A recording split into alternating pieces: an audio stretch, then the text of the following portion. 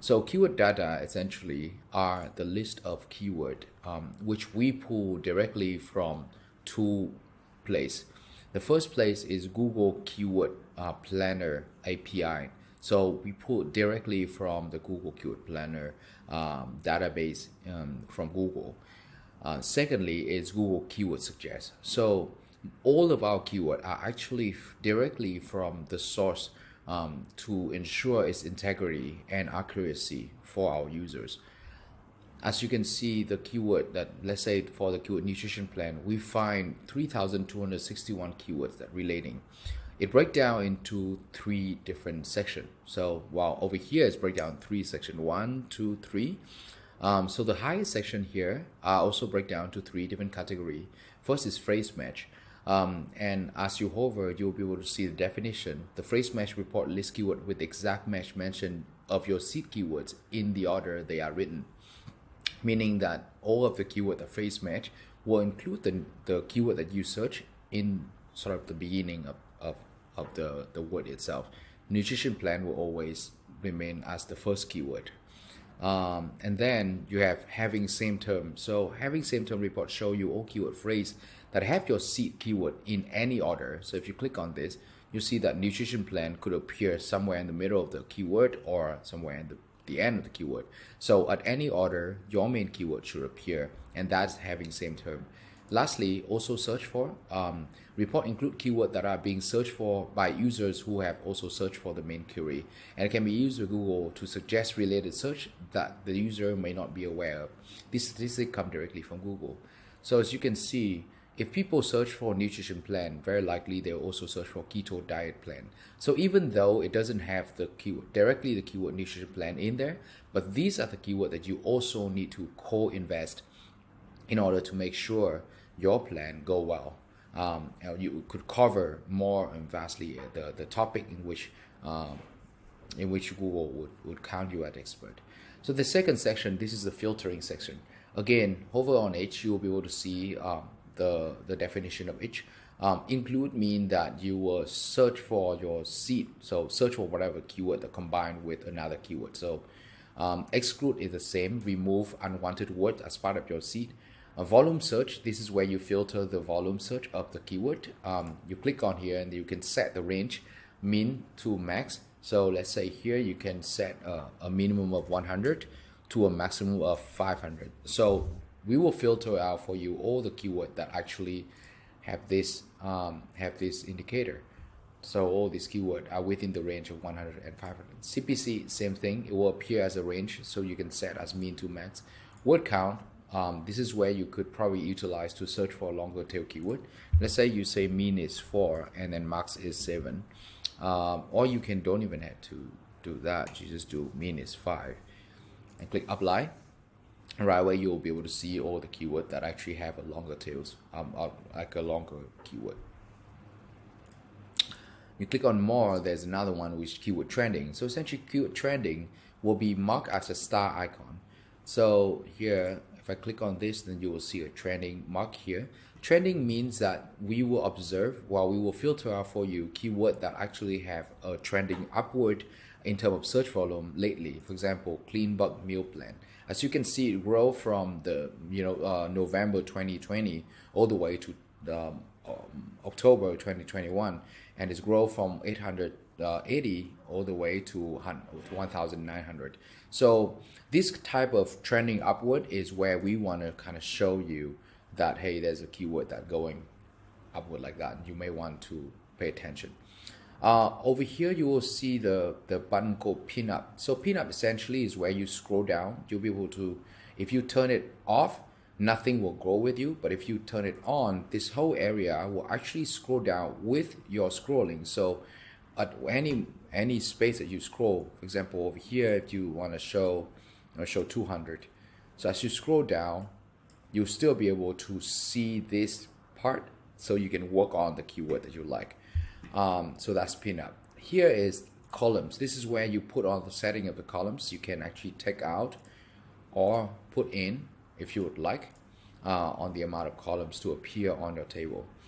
Finally, we have something quite special. We call it filter config. So filter config is a tool that lets you save your keyword filter setting once you receive keyword data result in either keyword explorer or keyword importer.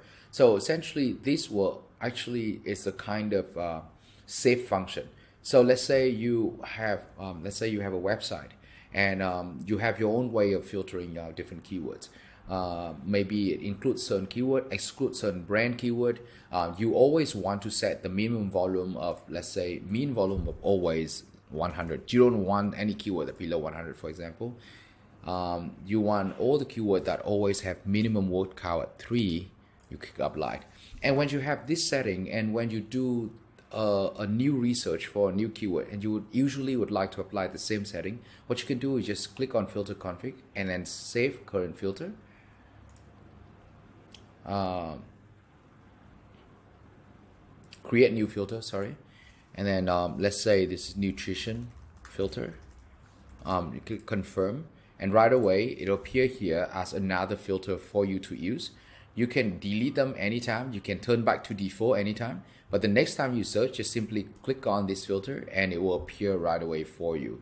Um, this will become really handy once you actually utilize our golden filter or forecast or other function. Um, so yeah, so that's the second section, as you can see over here. The third section is where um, all the function of the tool itself really um, show you know showcase. So first of all is appear here. The first box is the keyword that select meaning that when you select keyword over here, will show you the amount of keyword that you have selected. And if you turn it off here, this keyword will disappear. So it will go as you cover that. So a lot of time when you do, you, when you're done with filtering here, you can just simply click on select all. And so as you can see it right away, kind of um, from 3,261, it's go down to 1,120, uh, uh, 12 keywords selected. So as you can see all the selected keyword here, you can then utilize add to. Add to meaning that you can actually add that into your personalized keyword database and that is a keyword list. So let's say you really like this keyword list and but you're not sure what to do with them yet or you are or you will want to utilize them later in your SEO campaign or uh, your search strategy build up. You simply click on add to, let's say add to list and create a new list or add to an existing list. So let's say create a new list. Click add. And right away, we will show you congratulations, your first keyword list if You now can access them on top right screen next to the remaining limit button. So cancel, see right here, that is your keyword list. So you can access them right from here. So if I click on it, it will look something like this. So you will see your keyword list. So from here, you will be able to kind of utilize this anywhere else from the tool. Okay, so that's add to. Um, add to group um, is uh, a function where you could add a temporary keyword list and it will appear here, but then it will disappear later. So this will be like keyword in which you are not sure of yet. So let's say you, you nutrition click confirm. Right away, it will appear a tab here and it's called group. So it will show you the list of the keyword, 1000 here. So when you click on this, it will show you all of the 1112 keywords. Um, this is where you will actually go in and then do another filtering if you would like, or if not, um, you just you just forget about it and the next time it will disappear by itself. So this is the group appear as if where you in the process of research and you want to save some keyword you, you are not certain about yet you want to put them in there export is well uh, self-explanatory you can export that, them. You, you can you can either export the selected so all the selected keyword after you've done filtering or you can exp export all. So let's say you export the selected it will actually showcase here and you save out the name. And then you can either save them as uh, Excel or uh, CSV file. Okay, um, now getting to the, the more exciting part, this is one of our key features and that's cluster. And what cluster does is that we will actually find all the keyword with similar ranking probability and group them together. So this process typically um, are very manual and tedious and cost you a lot of time and effort and manpower. Um, yet with this function, you will be able to kind of just do it super quickly in like a 30 minutes uh, session and you'll be able to kind of group them into the group. So the, the, the purpose of this is that it will help you to, uh, when you write content, you can just include all the keyword that's similar ranking probability together. And uh, when one keyword get on top, there's a very high chance that other keyword in that same group that you include in that same content, you'll be able to have them rank too using only one content piece. So that's cluster. So by, when you click on cluster, the same thing happened with export. It will show you either you can cluster the selected or you can cluster all.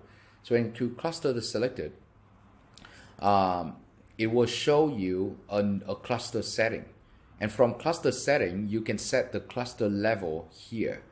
Um, I will explain in a more details on, on the clustering features uh, in, a, in a more detailed videos later on when you click on the key key features um, part. But essentially, you will do setting here. You can create a cluster project here, and after that, we'll, we'll highlight for you how many keyword credits you will lose and how much available credit you have. So once you're done, you click activate, and it will appear another report in keyword import for you to see more. Um, uh, more in depth uh, how it is, just click simply click on tutorial library and then click on key features. Um, we'll show you the cluster features here and um, that's where um, I'll show you uh, a bit more details. Then we have forecast. What forecast essentially is to help you forecast how much revenue you can earn on the list of keyword that you are targeting. Right. A lot of time when we do SEO, we have very low, uh, like we we don't have really a clear expectation of what uh, how much the return would be if you try to target a specific keyword. Click on this and will appear like a board on the side. And you click, you know, using put input your data here, and then then you can just um, will show you the the amount of of money you may be able to. Again, same thing with cluster. We also have uh, features here that you can see.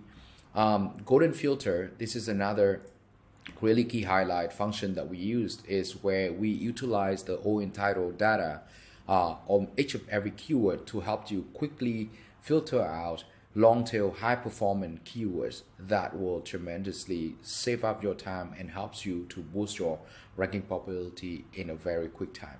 So by clicking on this we'll actually scan through the entire list of your keyword and um, give you the allintitle data for all of them so that you could actually filter them out. Um, again I will go in, I will show you in the more details in this. You click on key feature, golden filter, and you'll be able to see that. So um, moving downward, well, over here, there's total search volume and then over average CPC. So those are pretty self-explanatory. Uh, moving downward, as you can see in the table, click on each of the keyword and you'll be able to see a board like this. First of all, you'll be able to see our keyword difficulty uh, measure. Um, we, we, we, we try to take into account four different measurement to calculate the keyword difficulty. The first is uh, keyword difficulty by AdWords. So this one we take directly from AdWords. So you can see high here, PPC. But that but that AdWords alone doesn't really show you the difficulty when you go SEO. So we also combine that with content. How much, how many content uh, are being written using this keyword?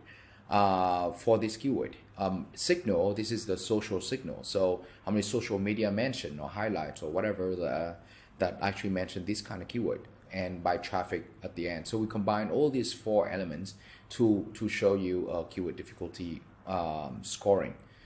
Then we have a search volume graph um, and overall search position. As you can see, the top 10 uh, URLs that ranking for this particular keyword. All right, and uh, scrolling down to the bottom, um, you'll see a filter here that's for how many results show and the pagination you can from this from this um, you can right away kind of create another search by clicking on this button called search another.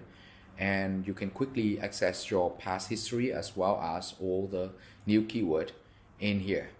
Um, so that's that uh, for the tutorial today. Thank you very much for listening in, and I hope that you found this useful for your uh, your uh, work workflow.